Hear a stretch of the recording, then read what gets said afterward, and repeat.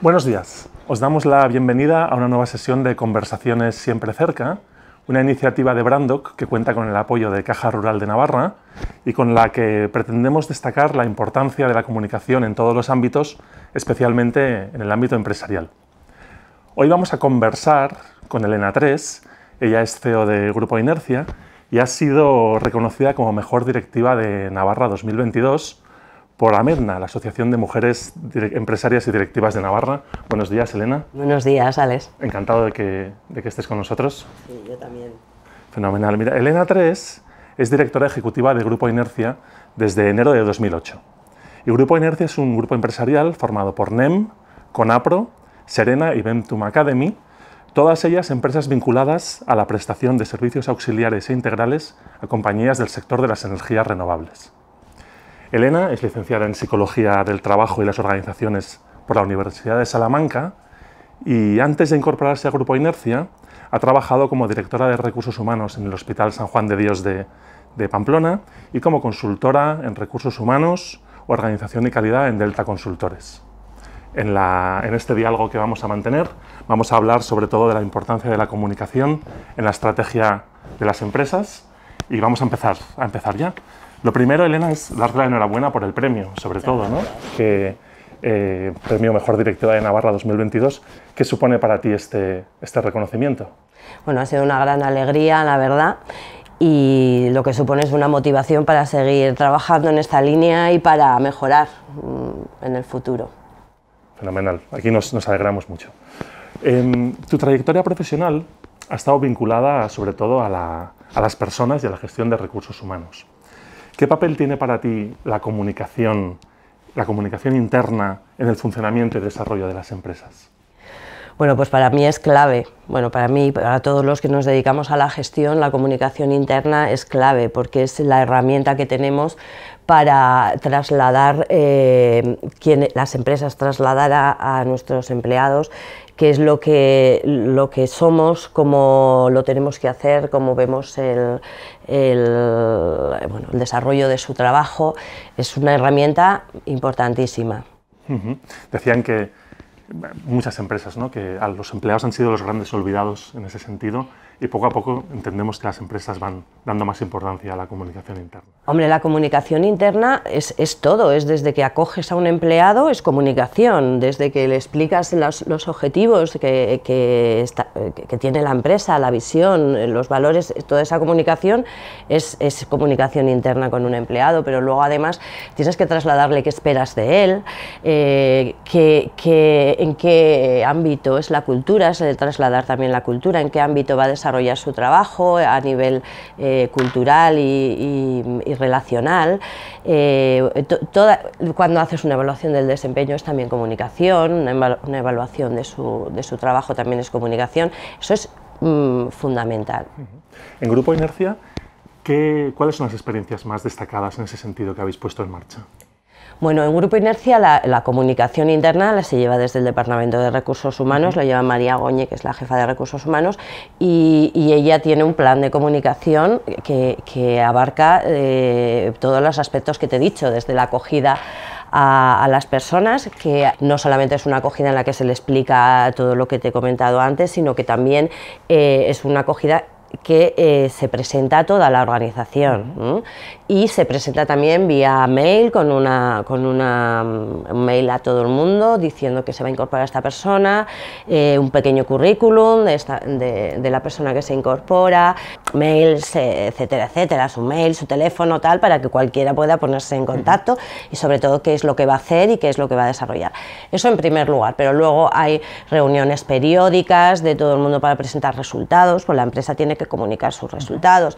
Eh, hay mm, eh, diferentes eh, acciones en redes internas para comunicar pues, acciones de responsabilidad social, para, hay, hay webinares también internos eh, para tratar temas de interés, hay encuestas que, que, desde Recursos Humanos se hacen para saber cuáles son los temas de interés sobre los que se puede tratar y, por ejemplo, ahora últimamente con el pacto, la adhesión al pacto de, la ONU, han enviado una encuesta o van a enviar, yo la he visto, pero no sé si está totalmente enviada, eh, para preguntar a ver qué objetivos son para, para, las personas de la organización más importantes y en función de eso pues ir haciendo también un poco ahí acciones en esa línea. O sea que es que hay un plan bastante amplio en el que se tocan muchísimos aspectos de comunicación y, y al que damos mucha importancia.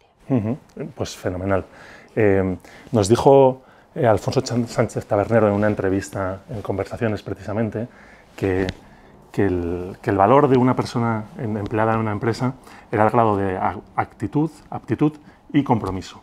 Y para tener compromiso hacía falta información. Entonces veo que en Inercia, en Grupo Inercia, le dais le dais mucha importancia. Sí, sí, sí, estoy totalmente de acuerdo con él ¿eh? en este sentido. El compromiso se adquiere eh, cuando tú eh, sabes mm, dónde estás trabajando, qué es lo que, lo que, cuáles son sus metas, las metas, la misión de la empresa, cuál es la forma de hacerlo también, y todo esto lo sabes gracias a bueno, pues a estos esfuerzos que se hacen por, por, comunicar y por llegar a todo el mundo también, que a veces no es fácil, ¿eh? porque nosotros tenemos técnicos que viajan por todo el mundo, que no están en un, en un sitio, entonces es, es, complicado a veces el, el hacerles llegar esa, esa información y, y, muchas veces también esa vinculación, mantener esa vinculación. Eso es, eso es. No es fácil, pero hay que hacer un esfuerzo. Hay que hacer un esfuerzo, sí, sí. Has mencionado eh, la adhesión que habéis hecho al Pacto Mundial, que habéis hecho recientemente. Y vamos a hablar un poco de sostenibilidad en ese sentido, uh -huh. porque eh, la ONU indica que las empresas tienen un papel fundamental en todo lo que son los objetivos de desarrollo sostenible que están fijados para 2030, que es pasado mañana, uh -huh. en ese sentido. ¿Qué os ha llevado a vosotros, a Grupo Inercia, a adheriros al, al Pacto Mundial? Bueno, nosotros, como, como, bien has dicho al principio, somos una empresa de, eh, muy vinculada a las energías renovables. ¿eh? Casi el 90% de, o el 80% de nuestra actividad es, es, para el sector de energías renovables, en concreto para el eólico y el fotovoltaico, ahora un poco.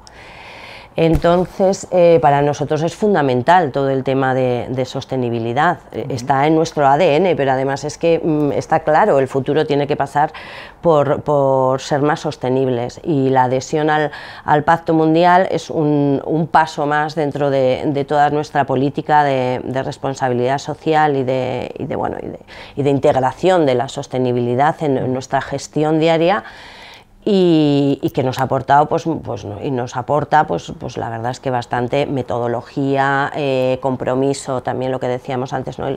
es una forma de, de, también manifestar o comunicar nuestro, nuestro compromiso. ¿Recomendarías a otras empresas que lo, que lo hagan, que se adhieran? ¿Qué les, qué les puede aportar esa adhesión? Bueno, pues como te digo, les aporta metodología, porque hay una metodología y hay una, hay una forma de trabajar los objetivos y los principios. Bueno, te, te, te aporta también una visión alineada con, con, lo que es un poco el, el, el pacto mundial ¿no? de, por los derechos humanos pero aparte de eso te, te, da es una metodología para que tú puedas trabajar los objetivos, eh, integrarlos en tus planes de acción en diferentes ámbitos, porque no solamente está la sostenibilidad a nivel medioambiental, está todo el tema de, de la lucha contra la pobreza, contra la desigualdad, contra hay un montón de, de, aspectos que se trabajan y que bueno, pues, pues te aporta pues, alinearte con, con lo que va a tener que ser las políticas de las empresas de aquí al, al futuro. Ahora la, la, sostenibilidad parece una opción, pero dentro de un tiempo será una obligación además, o sea que, que, que es importante que las empresas se, se adhieran y cambien su, su, funcionamiento para poderse seguir en el futuro, ¿no? eso está claro. Vamos a hablar un poco de, de, de Ventum Academy. Ventum Academy uh -huh. es una de las empresas, la última empresa de, de Grupo Inercia. ¿Qué papel tuvo la comunicación en el desarrollo y en el lanzamiento de, esta empresa? Pues fundamental. Mm, desde el primer momento fue un, un punto estratégico del lanzamiento de esta, de esta línea de negocio, porque es una empresa que está dentro de, otra empresa del grupo y que eh, queríamos darle entidad propia por sus dimensiones. Entonces, eh, junto a Brandoc estuvimos haciendo toda la estrategia de, de, comunicación, que bueno, como tú conoces muy bien, que has estado participando en ella, ha sido un proceso muy bonito, muy interesante y muy bien definido negocio. ¿eh? desde el primer momento fijamos que, cuál era nuestro público, a dónde queríamos dirigirnos, qué mensajes íbamos a trasladar, qué imagen íbamos a a, dar, con, eh, que reflejas esas, esas, esos mensajes.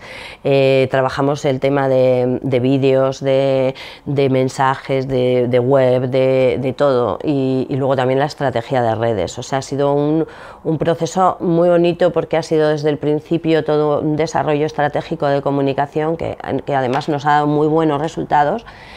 Eh, por ejemplo, eh, a través de todas las estrategias que hemos hecho, llegamos a públicos, sobre todo de países del este, que ahora son los que están viniendo a darse formación en nuestros centros. Pero esto ha sido en Ventum, pero también el resto de las líneas de negocio tenemos que, seguir eh, en, ese mismo, en ese mismo, con esos mismos criterios, porque la gestión de, la comunicación tiene que estar mm, implícita en todo el desarrollo del negocio. Siempre es necesario. Externa, ahora estoy hablando de la externa. Sí, está claro. Sí, nosotros siempre decimos que la comunicación es la gran olvidada, ¿no? que cuando se monta un negocio, que hay, quien eh, prepara todos los planes estratégicos y deja la comunicación para el final. Y sabemos que, que no debería hacerse así. No, no, no debería hacerse así porque, bueno, pues tú puedes ser buenísimo y tener un producto maravilloso, pero mm, tienes que saber contarlo y, tienes que saber llegar al consumidor o al, o al cliente. Eh, y eso, mm, mira, te voy a contar un detalle. Al principio, cuando empezamos con Ventum, nos pusimos a, hacer, a pensar nombres nosotros. Ah, pues ¿cómo vamos a llamar a este centro? Porque el centro y el negocio lo sabíamos, pero no sabíamos eh, bueno, pues cómo... Y empezamos a pensar, y entonces ya alguien dijo, esto es para profesionales, nosotros no somos profesionales de la comunicación externa, de, de pensar una marca, un nombre, un, todo esto. Y entonces fue cuando, cuando vinimos aquí. Y, bueno, fue increíble. O sea, todo esto empezó a rodar a partir de, a partir de, ese momento. ¿no? Ya nosotros, claro que teníamos todo el trabajo de crear el centro, de crear los contenidos de las, las formaciones, de, de los equipos y las instalaciones que tú sabes son fantásticas, con dos naceles enormes, todo eso sí pero luego todo el trabajo de ponerle nombre, imagen, eh, de pensar esto para esta, este público esta web la vamos a hacer de esta manera para que llegue a esto, vamos a hacer estos mensajes para el público internacional o para los clientes internacionales, todo para, y vamos a, publicar en estas revistas, vamos a entrar en estos eh, foros o en esto, eso necesitábamos ayuda. Sí, sí, fenomenal. Eh, nosotros siempre decimos que hay que hacer las cosas bien y contarlas bien. Hay que hacer las dos cosas. Oye, Elena, pues nada más. Muchas gracias. Muchas gracias por compartir tus reflexiones con nosotros. y, a, todos vosotros os emplazamos a nuevas entrevistas, foros y contenidos que vamos a ir eh, publicando sobre comunicación y marketing y que estarán disponibles en la web eh, conversaciones.es. Muchas gracias.